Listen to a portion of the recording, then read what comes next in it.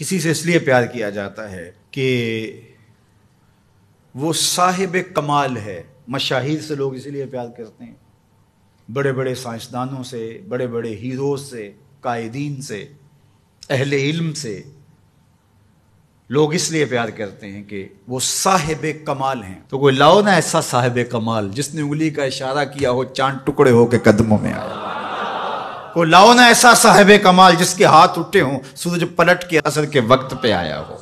कोई लाओ ना ऐसा साहिब कमाल जिसने इशारा किया हो दरख्त कदमों में आके सजदा रेज हो गए